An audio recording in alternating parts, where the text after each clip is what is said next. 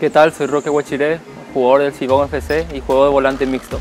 Me siento bien, la verdad, contento, contento por estar acá en la, en la ciudad, la verdad, la verdad muy, muy buena y nada, preparados para lo que se viene.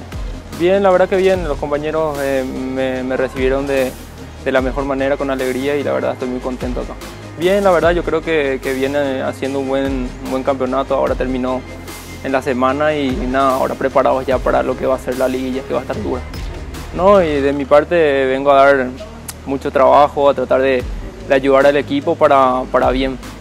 Sí, yo estuve jugando por Paraguay, jugué en el Club Libertad de Paraguay, fue donde debuté. Después fui a jugar dos años en Perú y ahora me toca jugar acá en Sibón FC. Y la verdad que son grandes, en, a corto plazo es poder llegar a semifinales, llegar a, final, a la final y poder, poder campeonar, que es el objetivo que tengo.